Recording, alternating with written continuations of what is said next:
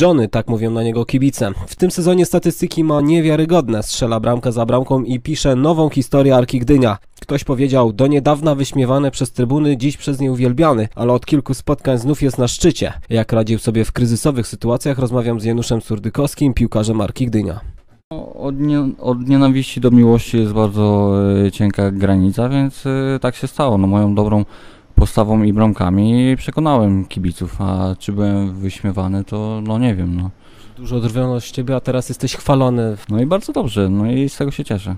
W kryzysowych sytuacjach to ja byłem po zawirowaniach i tutaj właśnie jestem tego żywym przykładem, że w takich sytuacjach nie ma co się pod- poddawać, nie ma co składać broni i po prostu trzeba wziąć to na klatę i walczyć dalej. W tamtym sezonie różnie było, ja nie chcę wracać tutaj do, do, pe- do pewnych osób, które po prostu y, miały wpływ na taką y, moją, może nie formę, ale po, po prostu na moją osobę i po prostu tej, tej osoby już nie ma. Jest po prostu ty, tylko, tylko i wyłącznie lepiej. Tak jak powiedziałeś, zawirowania w twojej karierze, ale nigdy się nie poddałeś, zawsze walczyłeś i w jakiś sposób motywujesz się do treningów, chcesz udowodnić kibicom swoją wartość.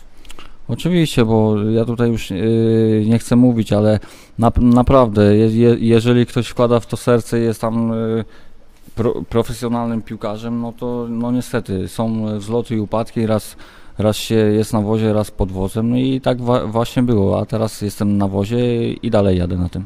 Teraz y, zagracie z Olimpią Grudziądz. Jakie są oczekiwania od Was przed tym spotkaniem? Czy trener już ma patent na mecze wyjazdowe?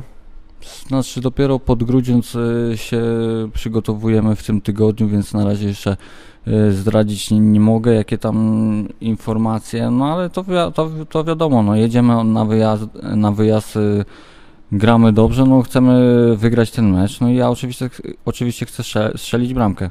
Strzelanie bramek to najlepsza droga do wydłużenia kontraktu z Arką Gdynia. Czy Janusz Surdykowski przyjąłby propozycję z innych klubów piłkarskich?